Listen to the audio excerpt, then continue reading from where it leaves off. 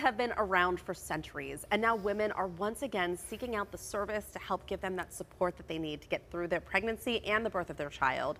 UPMC Magee-Womens Hospital is connecting soon-to-be moms with doulas who will be with them at every stage. We have Rita Speal here with us. She is one of those doulas. I'm also joined with her patient, Toya Dean, who's expecting baby number four. Yes. Congratulations. Thank you so much. How are you feeling? Overwhelmed. Children will do that in Yes, general, no matter if you have one or four.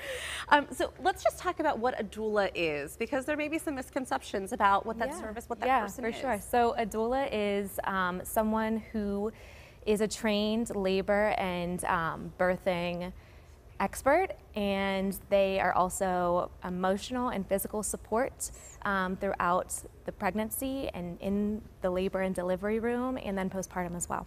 That's wonderful. And there is a difference between a doula and a midwife, too, Yes, right? yes. So, that? um, something that someone once told me was that a doula coaches and the midwife catches. So, a doula does nothing um, medical. We just try to assist with education and again with that emotional and physical support whenever it's necessary. And Toya, talk to me about that experience for you and why you turned to a doula for help. well, I had my mother passed away three years ago, and she so has. sorry. Thank you. But she has been my doula, so to speak, with the other children. So I needed a surrogate, and enter Rita. Um, so she has been backing me, uh, supportive. She is knowledgeable, you know, giving me resources and information that's needed. You know, I really find that when you have your first, you know nothing. Mm-hmm. And so, how important that service must be to so many moms. But no pregnancy is the same, no, No. birth is the same, No. none of it Absolutely is the not. same, right? And so, how is this helping you through the process? certainly that every pregnancy is different. They're like fingerprints. And I would say with the doula, the support that I have gotten from the birth circle, um, I feel empowered, I feel comfortable. Um, this has been, I would say, the healthiest pregnancy that I've had. And yes, uncomplicated. I get phone calls from Rita, and she's like, I haven't heard from you. I'm just like, so I, I'm really at peace right now in terms of the pregnancy, and I am just rearing to go. You know, they're so, our, our doctors are so busy. We know that they are, and they're there to help us when we need them for that medical intervention in any way.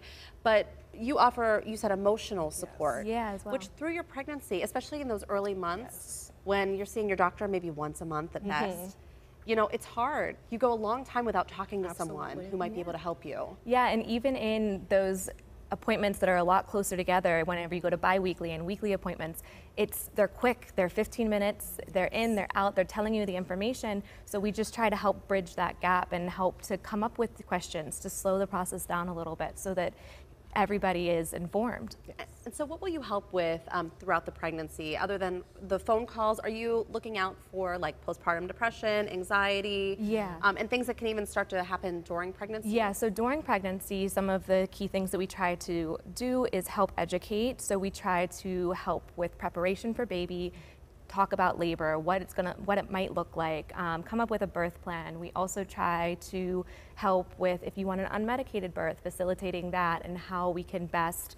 Um, get your preferences kind of narrowed down so that you have more insight to what's to come. But then also, yes, with um, postpartum, we help with la- lactation support um, and breastfeeding, and we also try our best to help to find those needs for resources to kind of help guide the client along. And did I read that uh, women who use doulas are more likely to have success in breastfeeding and, and and with some stuff even after having the baby? Is Yeah. that right? Yes. Yeah. Yeah, it's um, it's amazing how much just a couple people adding to support can really help a woman to feel that much more empowered in her experience and come out of it with a little bit more light.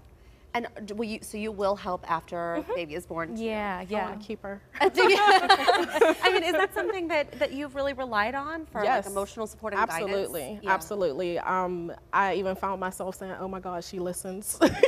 Well, right. I mean, you know, again, we have really great doctors, but it's it's hard. Sometimes you don't feel heard completely, yes, right? absolutely. Yeah.